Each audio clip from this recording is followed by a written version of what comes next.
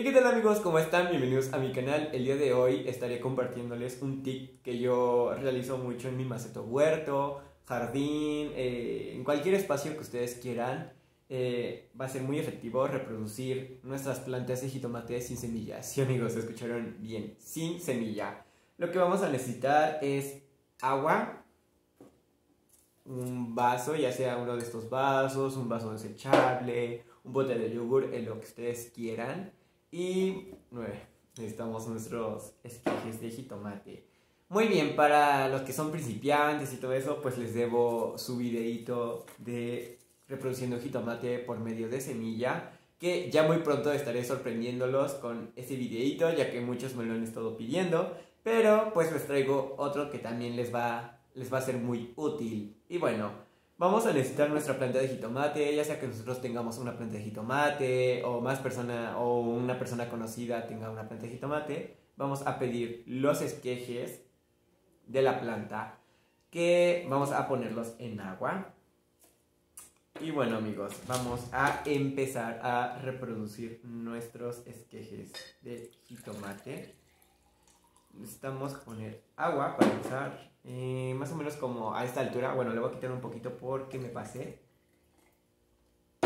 Y muy bien amigos, eh, como bien les comentaba, estos esquejes de jitomate tardan alrededor de unos 10 días en producir este, raíces.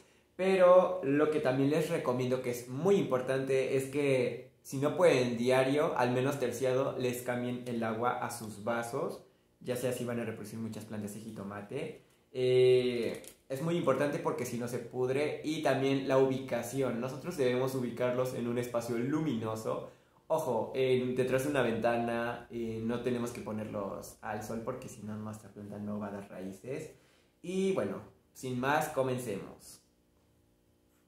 Bien amigos, aquí tengo una, un esqueje de jitomate. Voy a ajustar un poco la cámara para que me vean.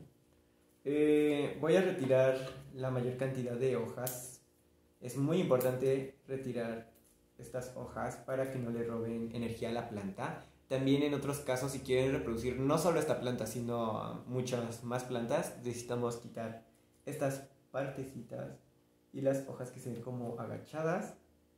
Eh, esto hará que la planta eh, concentre toda su energía en reproducir las raíces ya que pues si no pues va a estar como generando energía para ambas cosas y al final no vamos a tener nada de nada.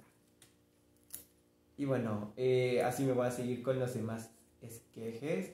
Y como bien les comentaba, alrededor de unos 15 días ya su esqueje va a tener raíces y listo para trasplantar.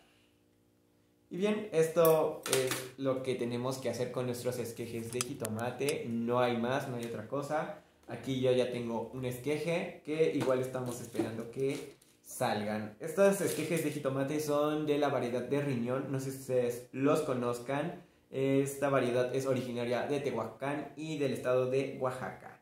Y esta es una variedad de jitomate cherry. Yo una vez me arriesgué a sembrarlo así con flores y la verdad sí fue todo un éxito. Así que una vez más lo haré. Y bueno amigos, eh, nos estaremos viendo dentro de unos 5 días a 10 días a ver qué resultados nos muestran. Y bueno, si te ha gustado mi video te pido que por favor compartas, te suscribas y le des like si te ha gustado el video. Gracias, bye.